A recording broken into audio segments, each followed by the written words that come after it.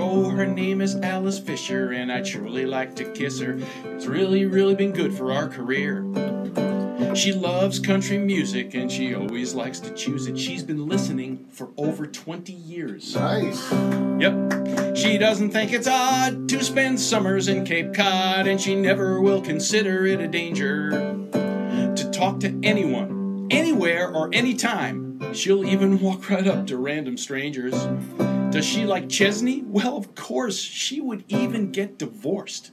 Mr. Chesney is her man of the hour. And oh, yes, my dear Alice, I will say this with no malice. We're giving you a nice gift from Pro Flowers. Yes, we are. Goes to Yay. Alice Fisher. Happy Mother's Day. Happy Mother's Day.